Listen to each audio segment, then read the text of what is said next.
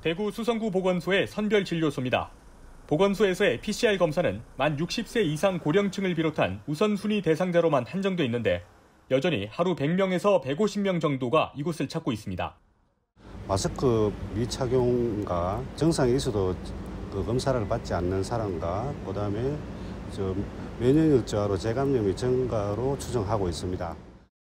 최근 들어 코로나19 신규 확진자는 대구와 경북 모두 일주일에 만 명 후반대로 눈에 띄는 증가세를 보이고 있습니다.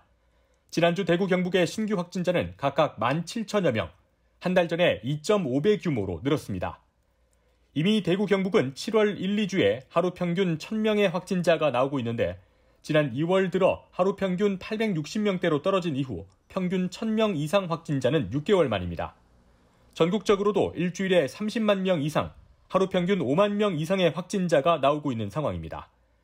질병관리청은 당초 이번 주에 코로나19 법정 감염병 등급을 4등급으로 전환하는 등의 내용이 담긴 위기단계 조정 로드맵 2단계 시행 시점을 발표할 예정이었습니다. 하지만 최근 신규 확진자가 급증하는 등의 방역 상황을 감안해 발표 일정을 연기했습니다. 경주시 등 일부 지자체는 요양병원이나 장애인 시설 등의 마스크와 자가 진단 키트를 지급하는 등 감염 취약 시설에 대한 선제적인 코로나19 확산 대응에 나섰습니다.